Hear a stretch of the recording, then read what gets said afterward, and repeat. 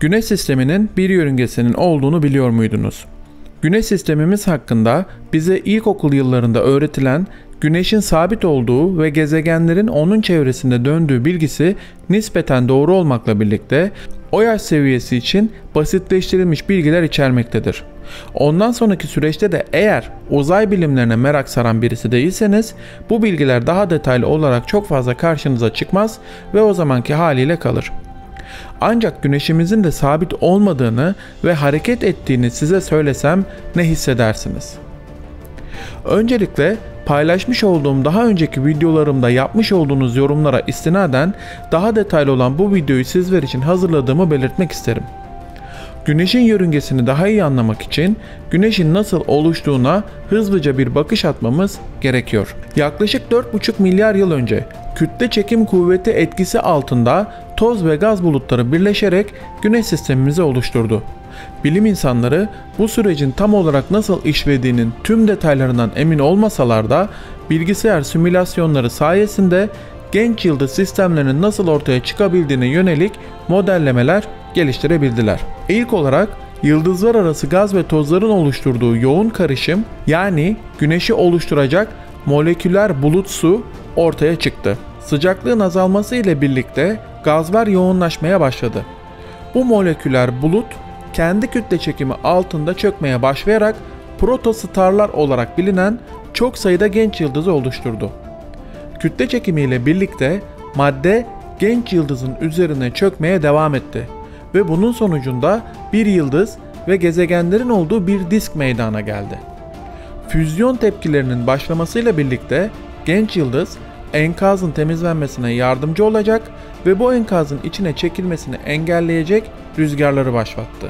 Her ne kadar gaz ve toz bulutları görünür dalga boylarındaki genç yıldızları örtseler de kızılötesi teleskoplar sayesinde Samanyolu galaksisinin bulutlarındaki diğer yıldızların doğum ortamları araştırılabiliyor. Sonuç olarak bilim insanları diğer sistemlerde gördüklerini kendi yıldızımıza uygulamaya çalışıyorlar. Güneş oluştuktan sonra 100 milyon yıl boyunca büyük bir kütle diski tarafından çevrelenmişti. Bu süre gezegenlerin oluşması için yeterli gibi gelebilir ancak astronomik olarak düşünüldüğünde göz açıp kapayıncaya kadar geçer. Bu arada yeni doğan güneş kütle diskini ısıtırken gaz var hız ve buharlaşıyordu. Yani yeni doğan gezegenlerin ve uyduların toparlanması için kısa bir süre vardı. Güneş sisteminin tamamı kendi ekseni etrafında dönen güneş bulutsusu yani nebula adı verilen toz ve gaz kütlesinin sıkışması ile oluşmuştur. En çok kabul gören bu teorinin en önemli kanıtlarından biri güneş etrafında dönen cisimlerin hepsinin aynı yönde ve hemen hemen aynı düzlemde hareket ediyor olmasıdır. Teorinin ortaya koyduğu modele göre dönmekte olan güneş bulutsusunun parçaları birbirlerine kütle çekim kuvveti uygular. Bu sayede merkezde büyük miktarda madde birikir. Sıkışıp ısınarak ışıma yapmaya başlayıp ön güneşi oluşturur. Daha sonra çökme merkezi daha da yoğunlaşıp merkezinde nükleer reaksiyon başlatır ve bir yıldız meydana gelir. Eğer bahsettiğimiz nebula sistemi dönme hareketi yapmıyor olsaydı tüm maddeler güneşi oluşturacak olan ön güneş üzerine düşüyor olacaktı. Bu durumda bulutsu içinde gezegenleri oluşturacak hiçbir şeyin kalmamasına sebep olacaktı. Teoriye göre gezegenlerin oluşum sırası en dıştaki gezegenden içeriye doğrudur. Yani Güneş'e en yakın gezegen olan Merkür, en son Güneş'e en uzak gezegen olan Neptün ilk gezegen olarak oluşmuştur. Güneşin yüzey ve çekirdek sıcaklığı arasında muazzam farklılıklar bulunmaktadır. Yüzey sıcaklığı 6000 Kelvin iken çekirdeğinin sıcaklığı 14.6 milyon Kelvin'dir. Dünyaya ulaşan enerji ise Güneşten yayılan enerjinin yalnızca 2 milyonda biridir.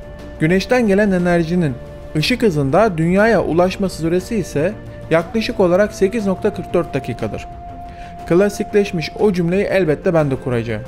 Eğer güneş günün birinde aniden yok olursa bunu yaklaşık olarak 8.44 saniye yani 8 dakika 44 saniye sonra fark edebileceğiz. Şimdi güneş hakkında edindiğimiz bu kısa bilgiler ışığında güneşin ve güneş sisteminin dönme hareketiyle oluştuğunu hatırlamış olduk. Güneşin ve tüm güneş sisteminin sahip olduğu bu dönme hareketi aynı şekilde Samanyolu galaksisinde de mevcuttur. Bu olaya daha büyük çerçeveden baktığımızda ise şunu görebiliriz. Evrendeki her şey gibi Güneş de kendinden daha büyük cisimlerin kütlesel çekimi altında belli bir yörüngede bulunur.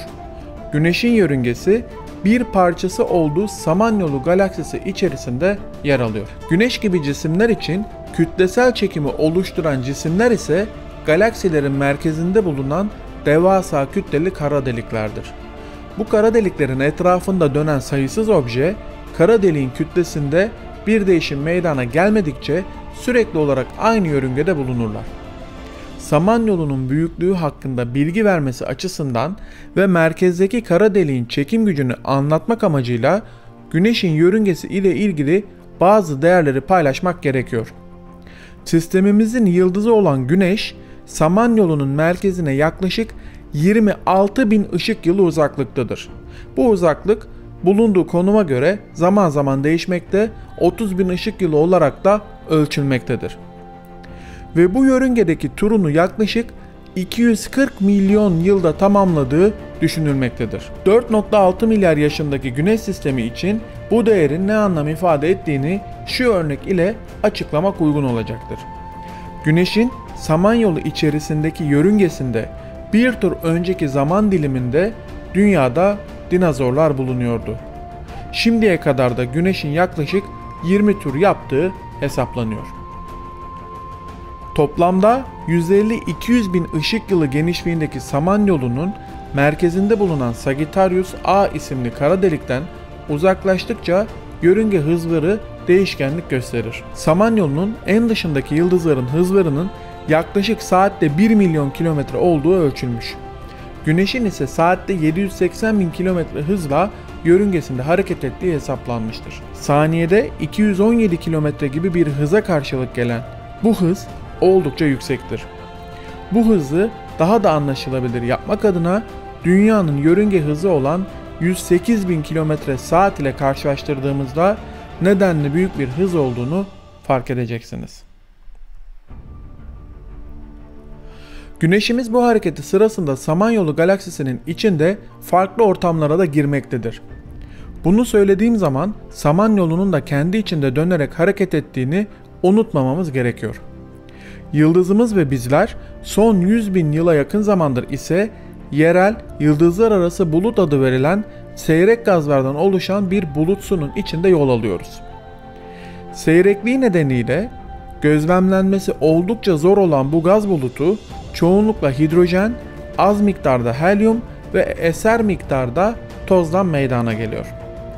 Gökbilimciler tarafından ılık diye nitelenen plazma halindeki bulutun sıcaklığı yaklaşık 6000 santigrat derece civarında. Buna ılık deniliyor çünkü Samanyolu'nda gözlemlenebilen pek çok yıldızlar arası bulutun sıcaklığı milyonlarca dereceyi bulabiliyor. Yerel yıldızlar arası bulutta tıpkı güneş gibi hareket halinde fakat onunla birlikte değil. Aksi yönde hareket ediyor. Yapılan tahminler bu gaz bulutu içinden çıkmamızın 10 ila 20 bin yılı bulabileceği yönünde. Güneş, Samanyolu çevresinde milyonlarca yıllık yolculuğu boyunca hemen hiç gaz bulunmayan berrak ortamlardan geçtiği gibi şu an içinde olduğumuz gaz bulutundan daha çok yoğun ortamlardan da geçer. Öyle ki bazı dönemlerde bulutun yoğunluğu nedeniyle yeryüzüne gelen güneş ışığı miktarında ciddi iklimsel değişiklikler yaratabilecek seviyede azalmalar olur.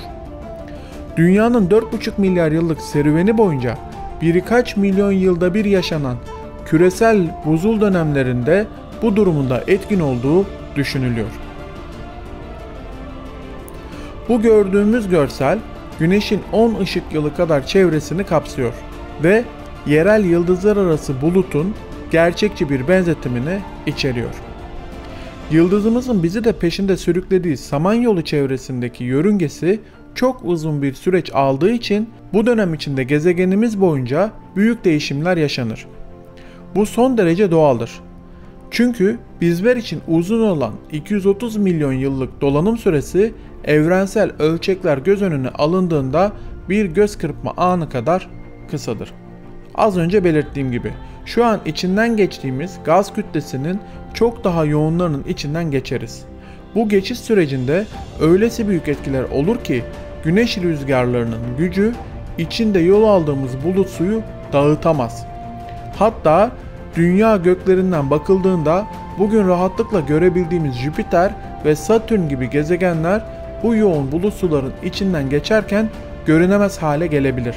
Tüm bunlar yıldızımız ve gezegenimiz için son derece sıradan ve defalarca tekrarlanan olaylar olmasına rağmen insanlık tarihi evrensel ölçeklerde son derece kısa bir süreç olduğu için henüz bunları yaşayıp göremedik. Evrenin sahip olduğu gizemi araştırmak, sonsuz bilgi denizini çay kaşığıyla boşaltmaya çalışmak gibidir.